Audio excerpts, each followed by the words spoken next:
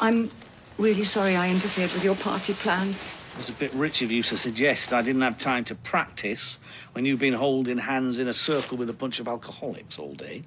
I thought you wanted me to go. And you know what? I'm really glad I did. Right.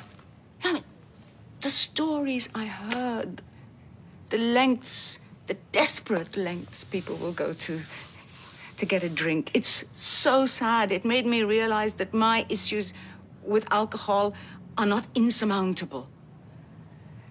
They pale in comparison to other people's. Well, then, if that's the case, we should celebrate. Crack open a bottle. What? No! Well, if you haven't got a problem at all, we could have a drink together like normal people.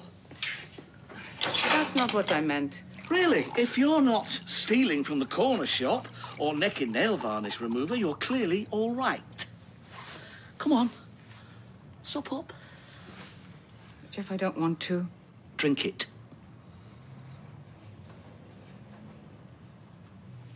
Uh, uh, uh. Every last drop.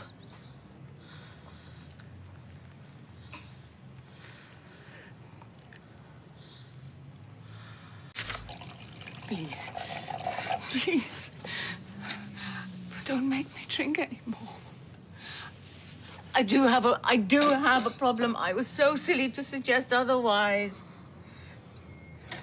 I never want to look at another glass of wine again. And you won't have to if you let me look after you. Geoff knows best, remember? Oh God.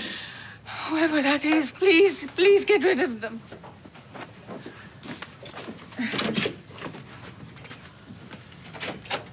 Oh, Peter, come in. Hey, Geoff, is uh, Yasmeen in? She's indisposed at the moment, Peter. Can I give her a message? Oh, uh, no, it's fine. It's just, uh, I just wanted to see how she got on at the meeting. Sorry. Has she been? Drinking? Yeah. Yeah. Your little meeting only served to convince her that she has no problem at all. Came home, tried to sing a bottle of wine.